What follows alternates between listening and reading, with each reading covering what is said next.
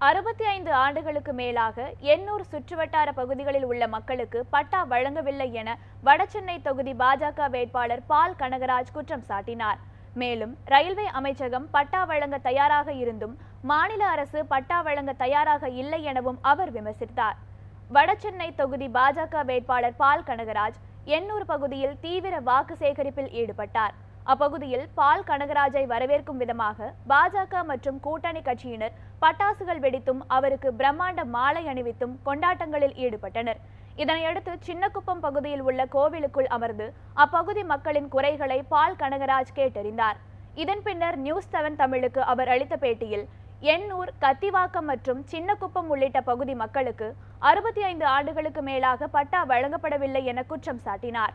விளையாட்டு திடல் அமைத்து தர வேண்டி அப்பகுதி மக்கள் கோரிக்கை வைத்துள்ளதாக குறிப்பிட்ட பால் கனகராஜ் வெளியூர்களுக்கு சென்று இப்பகுதி இளைஞர்கள் விளையாடும் சூழலுக்கு உள்ளாகி இருப்பதாகவும் அவர் குற்றம் சாட்டினார். மேலும் அப்பகுதியில் கடல் அரிப்பை தடுக்க போடப்பட்டிருக்கும் கற்கள் முறையாக அமைக்கப்படவில்லை எனவும் பால் கனகராஜ் விமர்சித்து பேசினார். இங்கே எல்லாரும் சொல்கிறது என்னன்னாக்கா அவர்களுக்கு பட்டா இன்னும் வழங்கப்படவில்லை. அறுபத்தி ஐந்து ஆண்டுகளாக அறுபத்தைந்து ஆண்டுகளுக்கு மேலாக இங்கே இருக்கிறார்கள். பட்டா இன்னும் கொடுக்கவில்லை. அதாவது ரயில்வே கிட்டே இருக்கிற அந்த நிலத்தை நிச்சயமாக இந்த ஸ்டேட் கவர்மெண்ட் முயற்சி பண்ணியிருந்தால் நேரம் வந்து ரயில்வே அமைச்சகம் தயாராக இருந்தும் இவர்கள் வாங்கி தரவில்லை. இதுதான் இது பட்டா என்பது இவங்க கொடுக்க வேண்டியது தான்.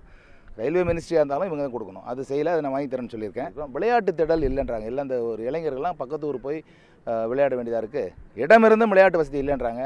அது யாராவது ஒரு சட்டமன்ற உறுப்பினர் நிதியிலேருந்தோ பாராளுமன்ற உறுப்பினர் நிதியிலேருந்தோ செஞ்சுருக்கலாம் செய்யலை. நிச்சயமாக செய்யப்படும் சொன்னோம். அது இந்த மக்கள் வந்து இந்த க கடல் அரிப்பு இந்த கல் கொட்டினது இதெல்லாம் வந்து மழை காலத்தில் தண்ணி உள்ளே வருது. அது சரியாக முறையாக பண்ணலை. இந்த கான்ட்ராக்ட்